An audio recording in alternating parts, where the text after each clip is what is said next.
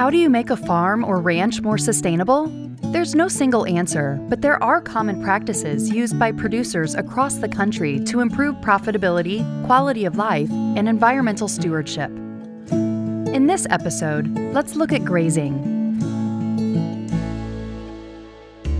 Farms and ranches that raise ruminant livestock come in all shapes and sizes. From arid rangelands to irrigated pastures, we raise cattle, sheep, and goats for meat, dairy products, and fiber. A management plan that focuses on the health of pastures and rangelands is the foundation of any sustainable animal operation. Since the specifics of your plan will depend on the animals you're raising, seek technical assistance when working out the details. You'll start by setting short and long term goals that capture what you want for yourself your family, your business, and the land. Everything you do as a producer should support these goals. Next, take inventory of the grazing resources available. This includes natural resources like soil types, climate, water quality and availability, and the local plant and animal communities. Also include equipment, labor, and access to processing, markets, and infrastructure. This will help you understand the capacity of your business and your land to support grazing.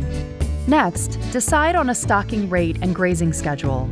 You want to meet your goals while keeping the right number of animals on a piece of land for the right amount of time. Start with a very conservative stocking rate and work your way up to an optimum rate as you learn what your land can support. The goal is to give your forages enough time to regrow before being grazed again.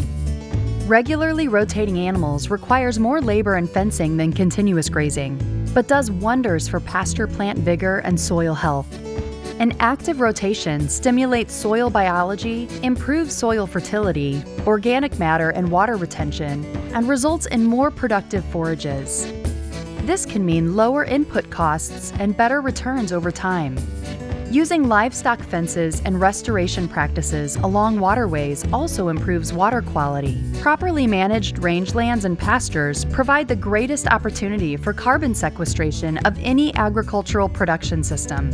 They have the potential to capture and hold millions of tons of atmospheric carbon. Finally, we need to monitor our pastures, collect and evaluate data, and be willing to change the plan if we're falling short of our goals. There's much more to learn about grazing and sustainable agriculture. Start exploring today